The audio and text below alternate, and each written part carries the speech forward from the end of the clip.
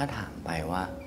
อย่างตอนที่เราขยับความสัมพันธ์ ขยับสเต็ปความสัมพันธ์มาแล้ว มันมีภาพของการที่เราจะต้องยุติความสัมพันธ์กันไหมแบบเคยนึกถึงภาพนั้นไหมแล้วพอมาเจอจริง ๆ มันเป็นยังไงครับไม่เคยเลย จริง ๆ ไม่เคยเลย ไม่เคยคิดว่าจะต้องยุติความสัมพันธ์ เออไม่ไม่ไม่ไม่ไม่เคยเลยอมพอเกิดขึ้นจริงใช่ไหม ก็ก็ต้องใช้สติสติปัญญาในการจัดการปัญหาอืมใช่